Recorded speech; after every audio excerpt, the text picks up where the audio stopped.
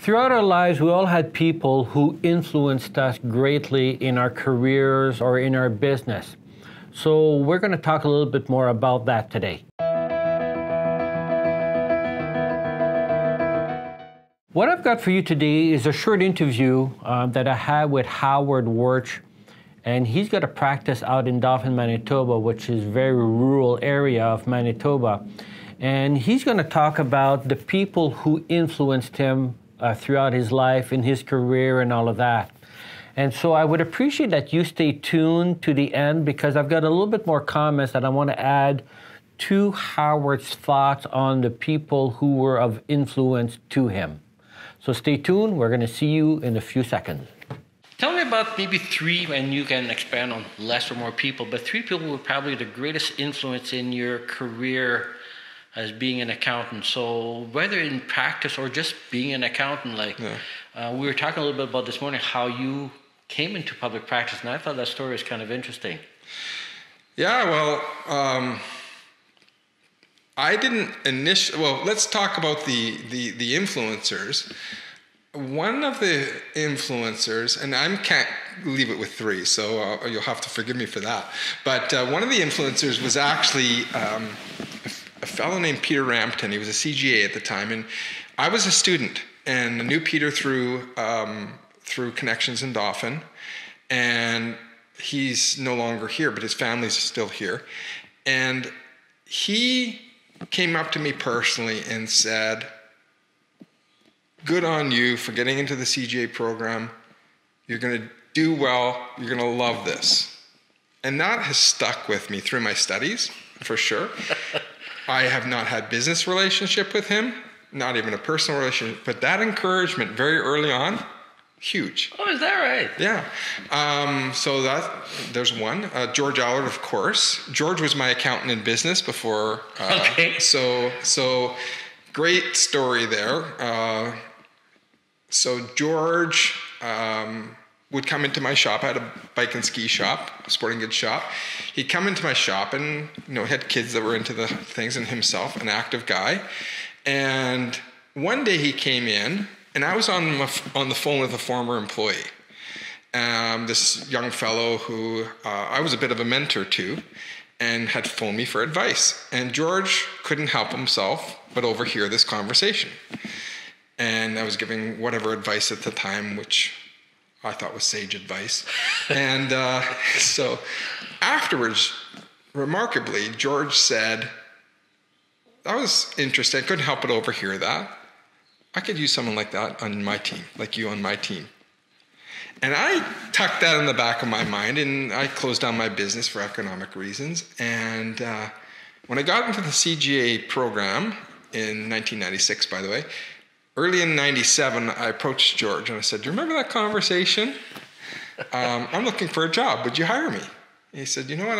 I've got somebody that's not sure he's going to work out the rest of the tax season. Why don't I put you on half time? Mm-hmm. You can work the afternoons, he works the mornings. Well, that the rest is history. I worked through the firm since day one, all through the ranks, got my CP, CGA designation, and then eventually that turned into C, CPA and then eventually got the opportunity to join the partnership and now partners with George and now he's retiring. So yeah. that's full circle. So how could I not mention George? Yeah. I mean, but you also mentioned this morning that you were thinking about heading more into the corporate world and you kind well, of yeah. So morphed into public practice. Yeah, thanks for reminding me. Yeah, that was that was interesting because in my studies, the management accounting was my thing. I loved that type of analysis of accounting and, and cost accounting and it seemed to just click for me. And I thought, maybe that's where I'll end up. I had no idea what people did in a public practice firm other than from my end as a business owner. Yeah. So it's like, oh, well, I'm going to try this and see how I like it. I didn't have any clue how much I would like it. And being a business owner, I knew I wanted part of the ownership at some point. I, day one, it was like I knew I wanted to, I had the skills, first of all, and, and had owned a business myself. So I, I wanted, I, I, wanted that and eventually was given that opportunity. So, but had I, had you asked me when I walked into the door whether I'd love this, I'd say, no, I'm going to do it for a couple of years and see how it works out. and I absolutely, because of the variety and mostly the people that you meet. Yeah, yeah. And it just works for me. Yeah, and I think if you're going to be in practice, Yeah. you got to be a person who loves people. Yeah, absolutely. Yeah, I agree. Yeah. I agree. So, people who influenced you. So George, um, Peter Rampton, and then, um, well, Jean-Guy, I have to say you. Thank you. Um, and I think over the years of us getting to know one another, one of the key factors is just your passion for the profession, your passion for practice, and how inspired I felt when I met you. And um, and then we got to know each other better, and we share that, I believe. Yes. And um, yeah, just a unique approach, and and and there's not many people in life you're unique in that way and and so you've made a huge impression on me i aspire to the lofty goals that you have set out. Uh, i don't know if i'll ever achieve them but that's okay. Uh, the, the fact that you inspire me. And so you're one of the definite people uh, out there. Another person that i cannot go without saying and i believe you share this with me is a, a man named stephen rosenfield. Okay. Stephen, if anyone has met Stephen, is a unique and great, beautiful human being. And that's all I need to say. He has inspired me. When I went into public practice, in those days, CGA had starting your own CGA practice and some of those sessions that you would take, mm-hmm. mandatory, but very good sessions. I take the knowledge of some of that to the day. And Stephen taught one of the sessions. I think it was starting your own C- CGA practice or one. Of, it doesn't matter. yeah. But one of the, he stood up there and for first five minutes he starts talking about valuing yourself and your billing and what you're worth. Yeah. It wasn't about the material. It started with that, and he blew my my mind. This was much before I had met you, even. And he just started talking about and, and giving examples, and it's like, oh my God, I have no idea. I have such a low value of myself and what I'm worth. And from that, it all, I think it started that. And, and as many practitioners that have met him or friends that have met Stephen, um, he's done things for. And one of his sessions, I took over teaching the GAAP GAAS course because that's what he did. I think that's Yeah. the course that I went to. But anyway, um, that was back in the old CGA days, um, the standards course. Yeah. And Stephen was talking about technology and he's a techno weenie and would spend all this money on it. and then I was, at that time, I didn't have a smartphone. And in, in those days, Blackberry was the thing, right? Yeah, yeah. So he, he talks about having this Blackberry. And I said, oh, I'd love to get a Blackberry. You know, I didn't have one or whatever.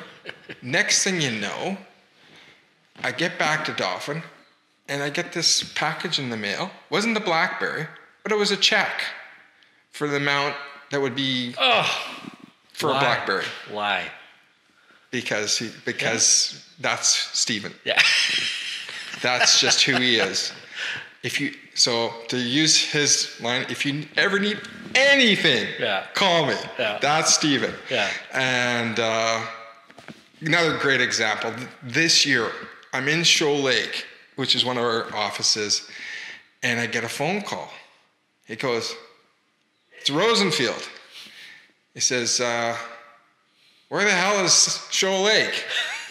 And so I said, I think it's about three hours west of you. He says, Oh no. He says, I'm in Palm Springs. but trust me, I did my T5s at five this morning or something like that. And he says this to me. He says, I just want you to know that people are thinking about you. Every once in a while, you might not think that, but think people think about you. And when they think about they think they think good things about you. And I love how your people answer the phone. I love how you guys you deal with your business, and I love you. And that's Stephen. Yeah, it and is. that I don't I cannot tell you what that means to hear that. Plus, you know he's sincere. Of course. Yeah, he doesn't just say that. No, you. no, no. not Stephen. so anyway, that's Yeah. um, and I would say those are the major ones for me. Yeah. So Interesting. that's a lot. Yeah. I hope you enjoyed Howard's story and how certain people really influenced his thinking, his ideas, and, and his decision to go into public practice. Uh, the two little things I want to add to that is something I think we tend to forget if we are in a position of being a business owner, and especially if you are in public practice. I think sometimes we tend to underestimate or underthink the value of the influence we may have on other people around us. So Howard just shared a few ideas of the people who had influence on him, but I'd be willing to bet that those people probably didn't even know to what extent they played a part in the career that Howard chose for himself and how they impacted his life. And in doing that interview with Howard, I found it interesting on how many people's lives we may touch every day without us even knowing it. So I think we got to take that responsibility uh, seriously. It's a little bit like Spider Man with great powers come great responsibility. I think there's a little bit of that. And I think we mustn't forget that uh, whenever we take on the role of leading a team and helping people out with their businesses. And um, it's, it's, it's rewarding as heck to know that you can have such an impact, but also a little bit scary. And the second point I wanted to make is don't forget to thank the people who may have touched your lives in a special way. Um, I found myself too often discovering people who passed away, and I never got an opportunity to really thank them for what they contributed to my life. And it's an opportunity I'll never get back again. And I find that is extremely sad to know that these people left this earth without them ever knowing the profound impact they had on my life, on my career, on the decisions I made. And oftentimes, it's not grandiose things that they would have done, it's these little things they would have said throughout our lives that really changed and influenced where we went with our lives and the decisions we've made. And something that I've learned from that is I'm a little bit more conscious of that now and making a bigger effort to tell the people who actually had an impact on me the extent of the impact they had on me. Um, because I'd rather tell them while they're still alive than simply put it out there to strangers. So if there are people in your lives that you think uh, deserve a thank you for the positive impact, may I suggest that you don't procrastinate because you never know when you or they will leave this earth and it will go without an opportunity for you to have done so. Um, and don't procrastinate. I would suggest you do it today. You take a few minutes, you pick up the phone or email them, whatever way is best for you. Um, I would prefer to do it by phone so that they can really um, have a sense of what's in your heart. So don't pass up that opportunity. It'll only come once. Thank you. And of course, don't forget if you liked, signify that you liked it. If you would appreciate you subscribing. And don't forget to work on your practice more than you do in your practice.